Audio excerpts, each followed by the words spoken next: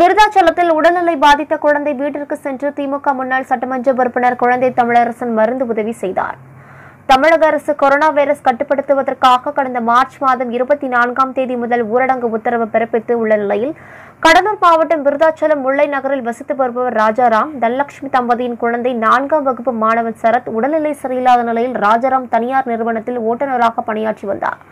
இந்த நிலையில் கடந்த ஐம்பது நாட்களுக்கு மேலாக வேலை இல்லாமல் மிகவும் சிரமப்பட்டு வாழ்ந்து வந்த நிலையில் திமுக தலைவர் மு ஸ்டாலின் அவர்களிடம் தொலைபேசி மூலம் ஒன்றிணைப்பும் நிகழ்ச்சியின் உதவியை நாடினார்.